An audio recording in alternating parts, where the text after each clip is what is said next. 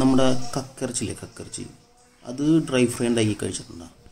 ഇഞ്ചി വെള്ളുള്ളി പച്ചമുളക് കറിവേപ്പില പെരിഞ്ചീരകം അരച്ച പേസ്റ്റ് മുളക് പൊടി മഞ്ഞപ്പൊടി കുരുമുളക് പൊടി ഗരം മസാല ലേശം റെഡ് കളർ കളർ ഒരു മുട്ട പകുതി ചെറുനാരങ്ങയുടെ നീര് കോൺഫ്ലോർ മൈദ പാകത്തിന് ഉപ്പ്. അതെല്ലാം കൂടി നന്നായിട്ട് മിക്സ് ചെയ്തിട്ട് ഉപ്പും മഞ്ഞപ്പൊടി ഇട്ട് വേവിച്ച് വെച്ചാൽ കക്കിറച്ചി അതിലിട്ട് കഴിഞ്ഞിട്ട് പുരട്ടിയെടുക്കുക. എണ്ണ ചൂടാകുമ്പോൾ കുറച്ച് വേപ്പിലിട്ട് അതിലേക്ക് കക്കിറച്ചി വിടിയിച്ച് വിടിയിച്ചിടുക എന്നിട്ട് ക്രിസ്പി ആവുന്ന വരെ മൊരിയിച്ചെടുക്കുക.